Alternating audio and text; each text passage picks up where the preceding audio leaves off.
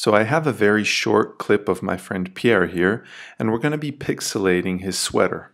Because my clip is so short, I will be tracking his sweater manually with keyframes. First thing we're going to do is click down here and then go to Layer, New, Adjustment Layer. Then we're going to click here on the pen tool and draw a mask around his sweater. Then we're going to go over to Effects and Presets, search for Mosaic, and drag that onto our adjustment layer. Then we're going to change the horizontal blocks to 30 and the vertical blocks to 20. Now we're going to go to the mask of the adjustment layer and make the edges a bit smoother. And then we're going to increase the mask expansion so you can't see the edges of his sweater. If you want to add the effect that the person in the video isn't wearing any clothes, you can add a hue and saturation effect.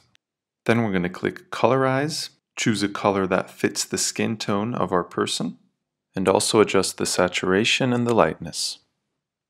Now I'm going to make the mask of the adjustment layer follow the sweater as Pierre walks to the left. As mentioned in the beginning, I'm doing this with keyframes and I'm speeding up the process not to waste too much time on this.